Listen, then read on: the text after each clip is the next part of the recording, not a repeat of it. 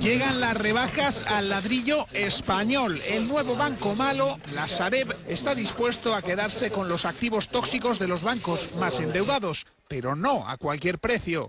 Introducir ajustes que van a, hacer, van a ser relativamente sustanciales y que van a implicar descuentos significativos. O lo que es lo mismo, que esas viviendas sin estrenar que se han quedado los bancos, se las llevará el banco malo pero con un 54% de descuento sobre su valoración actual en balances.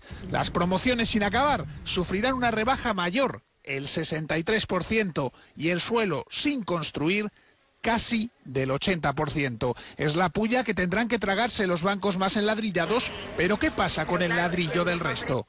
Que el precio de transferencia no sea una referencia adecuada para valorar activos, ya sea de las mismas entidades cedentes o de otras. En otras palabras, que los bancos que no necesiten ayuda pública no tendrán por qué bajar el precio de sus pisos, aunque el gobierno insiste en que lo harán.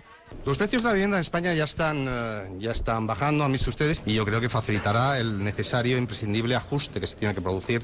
Para esta compra masiva de ladrillo, el Estado quiere poner menos de la mitad del dinero. Por eso ofrece a los inversores que pongan capital una rentabilidad en torno al 15% a 15 años.